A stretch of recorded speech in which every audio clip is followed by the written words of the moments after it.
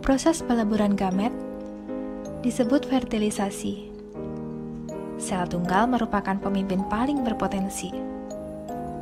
Terkadang, proses fertilisasi menghasilkan isogami, namun tak jarang pula memperoleh anisogami. Di balik isogami dan anisogami, berulang kali diri ini mengalami oogami.